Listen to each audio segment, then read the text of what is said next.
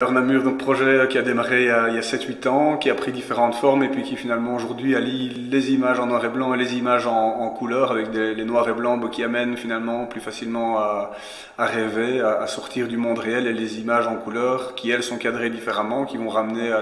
de l'habitat, euh, de la végétation et qui vont finalement ramener l'humain euh, au cœur de, de, de cette ville. Euh, c'est des images qui ont été récoltées finalement de différentes manières. Alors à la fois, parfois c'était plutôt euh, l'utilisation d'un petit appareil photo qui me permet de prendre des images euh, au quotidien, de s'arrêter, de faire une image ou deux, et puis de retourner sur le chemin de son travail ou de reprendre le bus et rentrer chez soi. Mais aussi parfois euh, bah, l'envie d'avoir des, des images qui étaient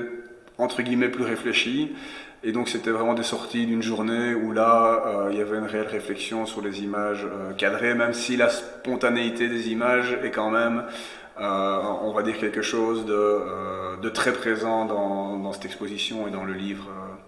également.